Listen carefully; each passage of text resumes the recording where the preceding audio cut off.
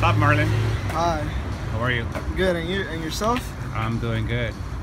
So, what have you heard of these? Um, they call it, uh, I think, night, Monday Night Project. Although it's Tuesday today, I think. Yeah. What have you heard of it? How about it? Um, I've been hearing a lot of good stuff about it.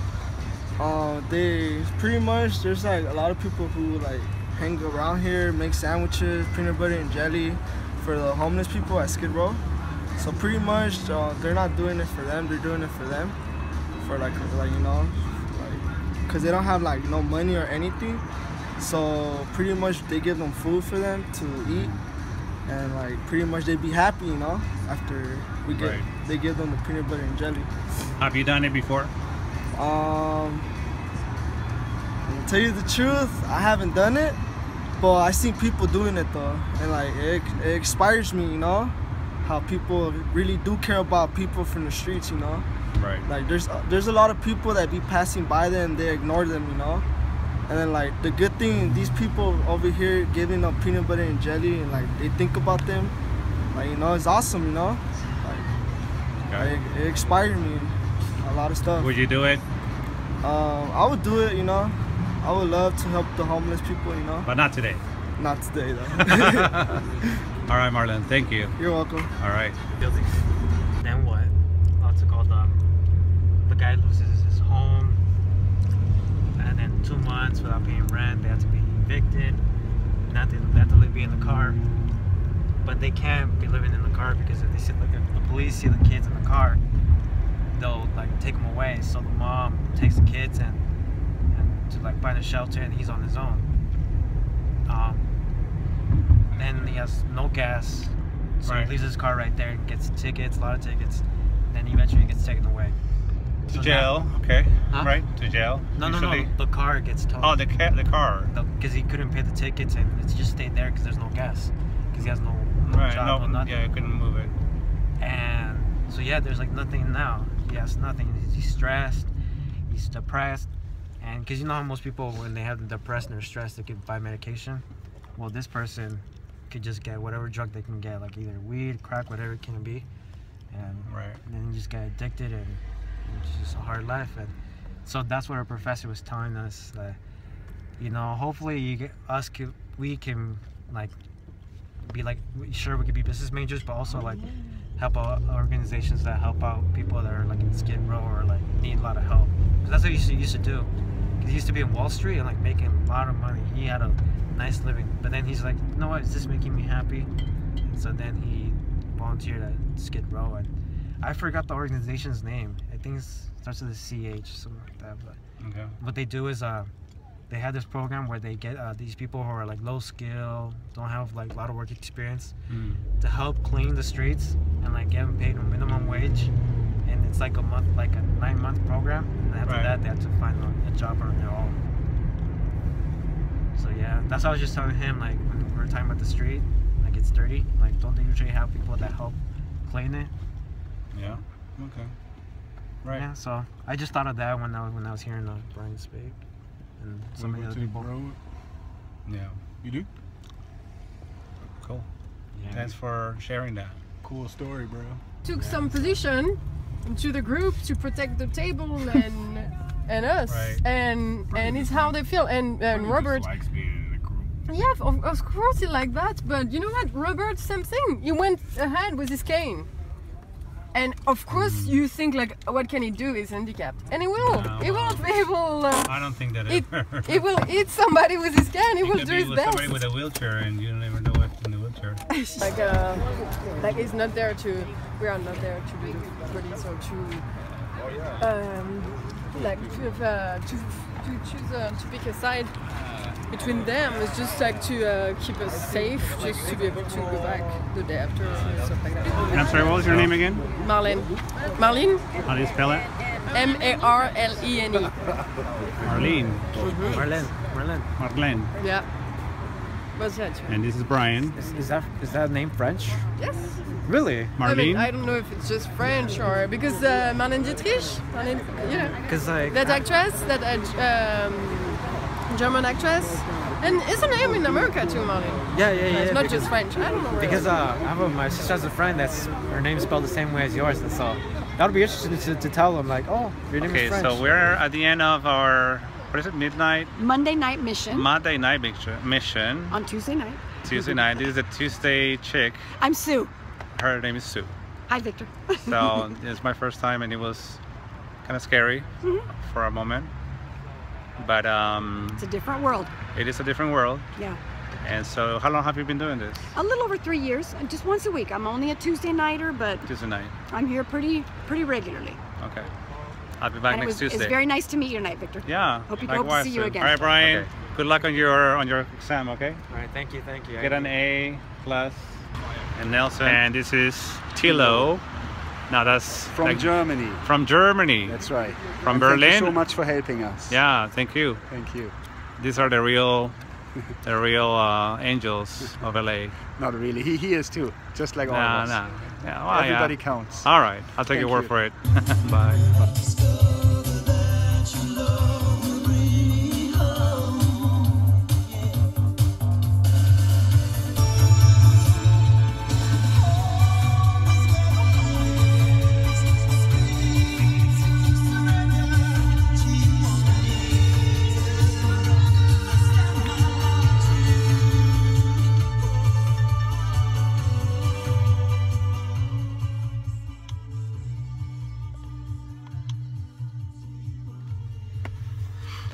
it's um, it's a wake up call.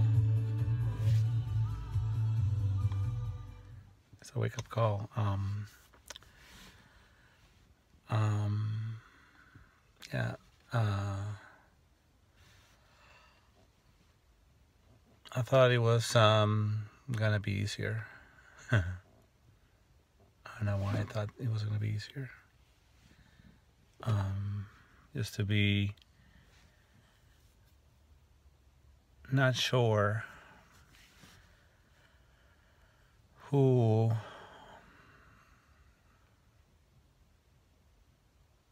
who your enemies are, who your friends are. Um, there was a disturbance at the at the Monday mission. Well, it's Tuesday. yeah. Um, so, and we were, it was a barricade, so we're supposed to cover the women.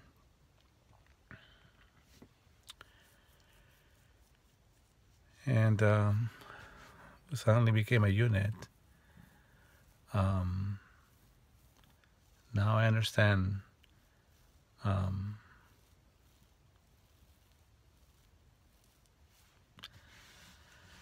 Now I understand why um, we'll never find peace if we keep um, dividing ourselves and if we start labeling people who's right, who's wrong, who's supposed to be in the circle and who's supposed to be push away from the circle. I'm home.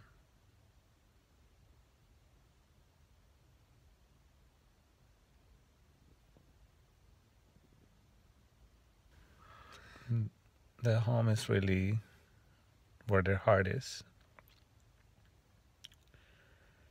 And some people have found home in the street of Los Angeles and um, mm,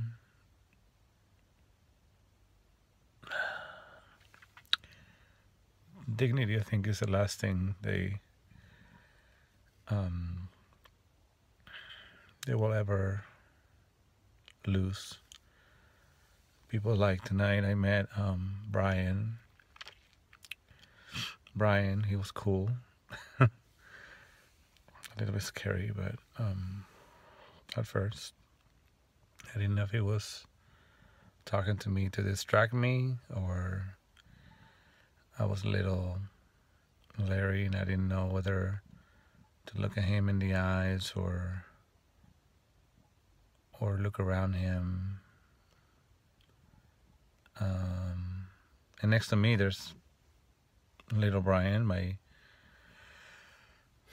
the brother I never had, next to me, um, who moments earlier had told me he was afraid, and I told him that everything will be all right.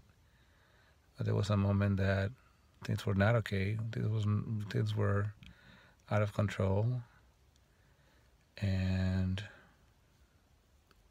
suddenly was not safe.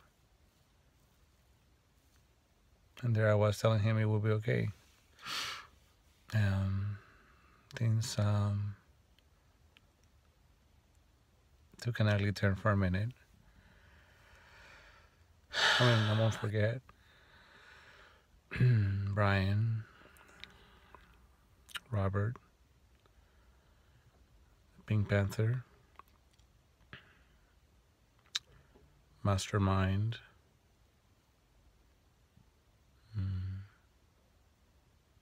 I forgot the rest. Mostly male. male. Oh, and Dorothy. I saw Dorothy and she was crying. She had pain in her on her face and or his face. Um, she started to cry and I don't know if she came back for for some peanut butter and jelly sandwich, but um, at least she's she was able to talk to us. I think that was what she wanted to do is just talk.